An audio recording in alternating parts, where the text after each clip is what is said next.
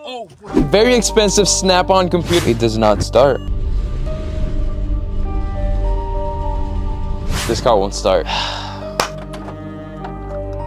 Everything went to crap. It's been a while and I'm happy.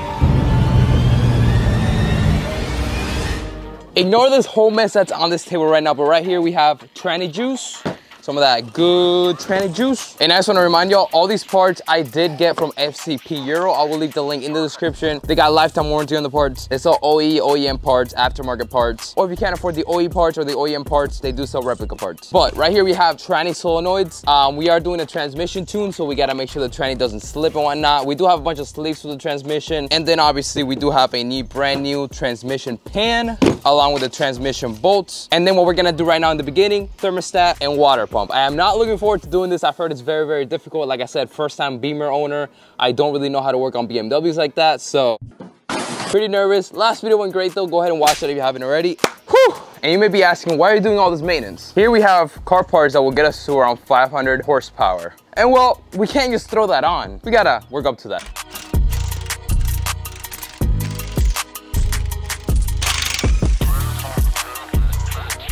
One thing for sure, definitely be sure to have the bucket under the thermostat at all times because that's the first thing we're taking out. Still, oh my goodness, still going. All right, so when you take out this hose right here, the one that's right on top of this long hose that goes across, that goes into the thermostat, make sure you have the bucket under because I just got coolant in my eyeball, in my nose, in my mouth, and all over my face. We're gonna take the thermostat out with these two bolts right here, and then we're gonna take out the coolant pump itself.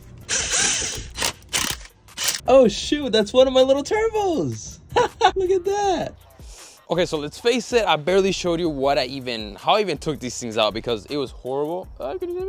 It was literally horrible and impossible to show you guys how I even took this out. And I'm gonna try my best to explain it in like 30 seconds, so bear with me. I wasn't gonna, but I was editing and I was like, no, I kinda wanna show you guys. When you're laying down, it's sitting like this. This first hose is pins. You wanna push it from the bottom, take it out, make sure you have something under because a lot of coolant's gonna come out. This hose in the rear, you don't have to take it off. It actually connects to the top. This one over here, you also don't really have to take it off, but if you can take it off, it will help. You can maneuver this around without taking this one off. And then this one up here is also pins, just get something in there pull it down it should be good then you can take it off also take the radiator fan out it will help a lot and when you're putting this back do not put this first put the pump, bolt it in, and then put this in. All right, here are the new, here are the old. This one is a Continental, so I'm guessing they already did change the water pump. This one does say Germany on it, so I think it is the OEM thermostat that was never changed. And this one says Pierburg. I believe this is either OE or OEM, but that being said, I'm just gonna put it back because I don't wanna look at this anymore. I wanna finish. Ah, there's kids crying, rate the fit though.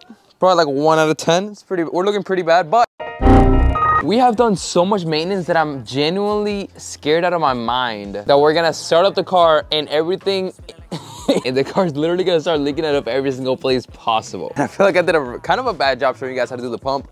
So for the tranny, I'm gonna set up the camera and actually do my best to show you guys how to do it. I cannot wait to get this exhaust off.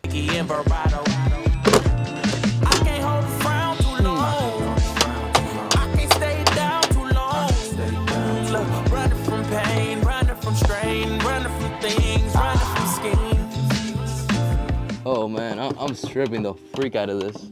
Never mind, I am stripping the crap out of this bolt. Oh my goodness, that's bad. On a scale from one to bad, that's really bad.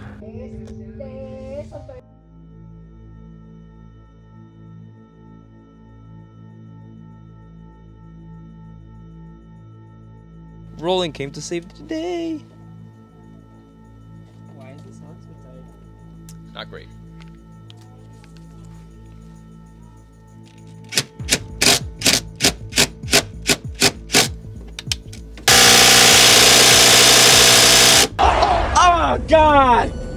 Oh!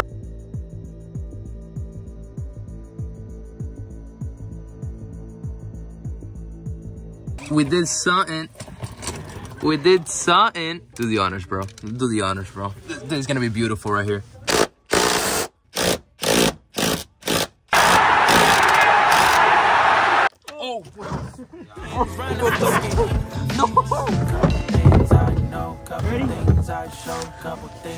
We're draining it from the from the fill hole. I can tell you my problems. Three hours later. I'm uncomfortable in my skin. I'm uncomfortable with my ends. I'm uncomfortable with my friends. I'm uncomfortable with my drinking. I'm uncomfortable with my thinking. I'm uncomfortable with my waist. I'm uncomfortable in this space. I'm uncomfortable on good days. I'm uncomfortable on bad days. I'm uncomfortable with my soul. I'm uncomfortable with my heart. I'm uncomfortable with myself. I'm uncomfortable with my Oh no, oh no, oh no, oh no, oh no. I'm uncomfortable with my thoughts. I'm uncomfortable with my feelings. And sadly, I'm uncomfortable with healing. That's the connector and that rubbery part with the ridges. That is the sleeve sleeve. We gotta take out. Frown too long. I can't stay down too long. Look, running from pain, running from strain, running from things, running from schemes.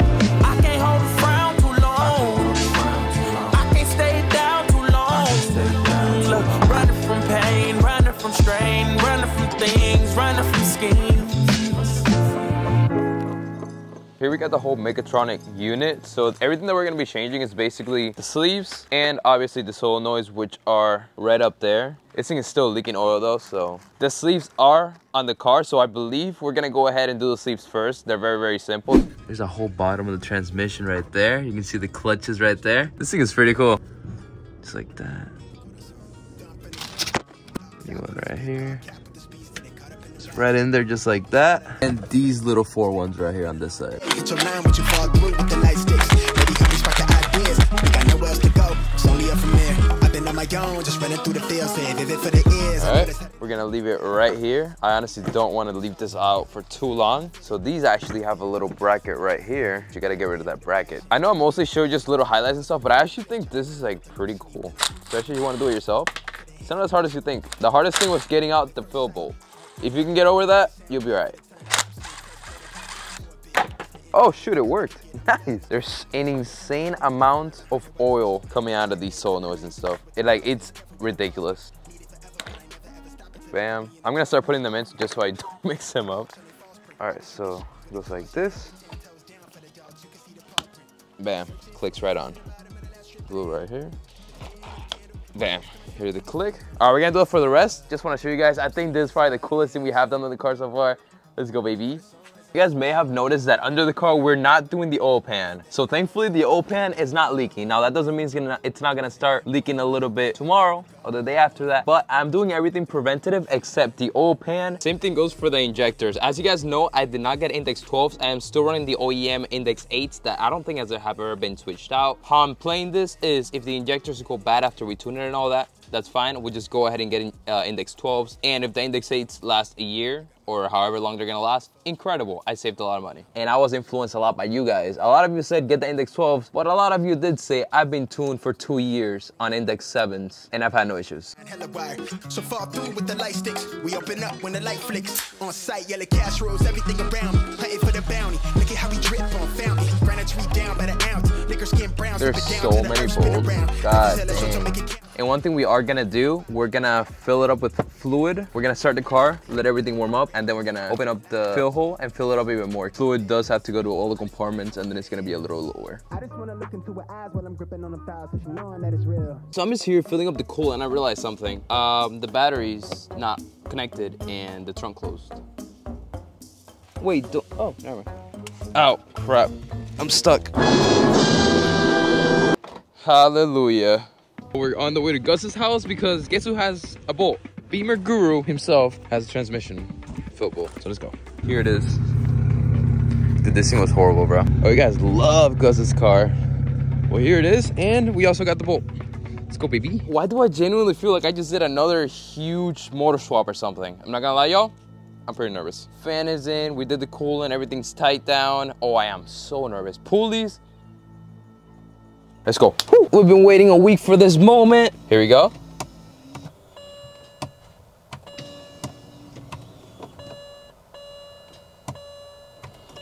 Car does not start.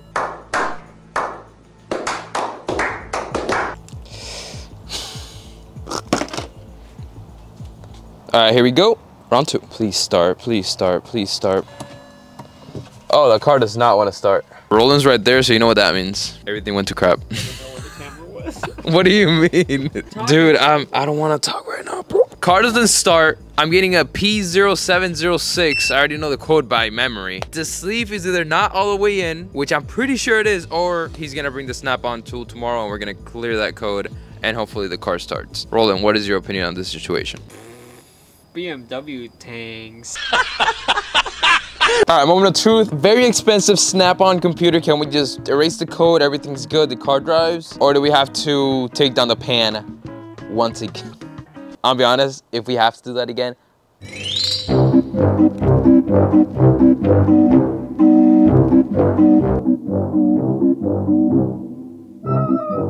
Here we go, we drop the pan, drain the fluid, push in the sleeve more, literally use the pry bar to make sure the connector's all the way in. Oh my god, I don't even want to say it. All right, here we go.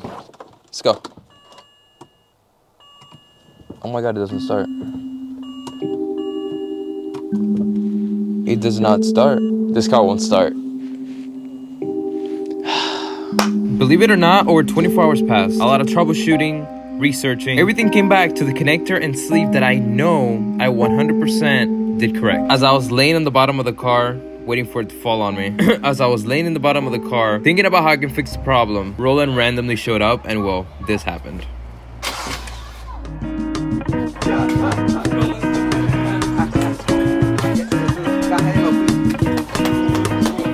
If anybody ever needs help, just hit up Roland. Here's his Instagram. He's gonna show up to your house randomly. Oh, thank God. Right. dude. My first Beamer trouble, we overcame it.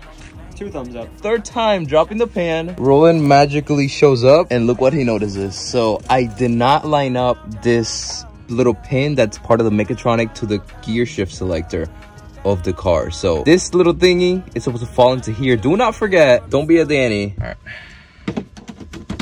Here we go.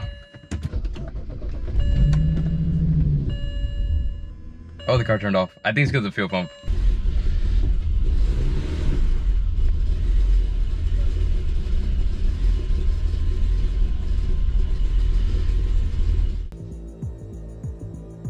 Now here's the thing. I hope that's actually the fuel rail and not the fuel pump.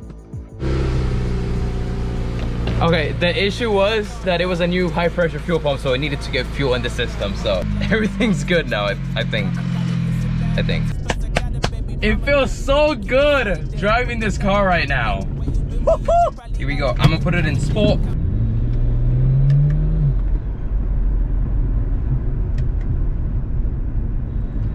Sounds so healthy.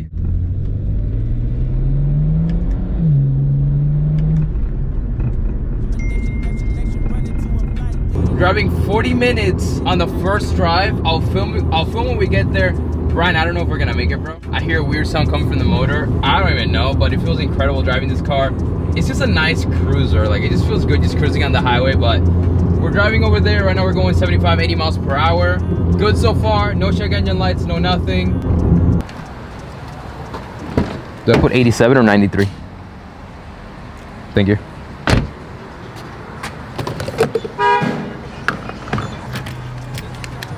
First fill up. Here we go. Look at her sitting all stock and purdy. It's been a while, and I'm happy. I'm feeling all buddy inside right now. Bubbly inside. Brian, dude, no one cares, bro. Beamer's out. Tranny's good. That dude got toilet paper. When your buddy who's a photographer is like, yo, I'm in town, you wanna take a picture? You have to say yes. I can't, I cannot play a song in the video, but this is my new favorite song. I'm putting it right here. To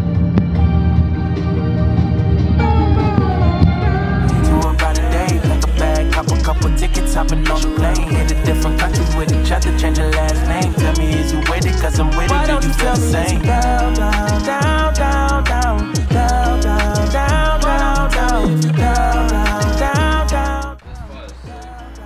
that looks so good. It's like 2 a.m. and it's also like 30 degrees. What's up, Austin? What's up? What's good? Uh, at his house. No, but these pictures are a must. This lighting is insane.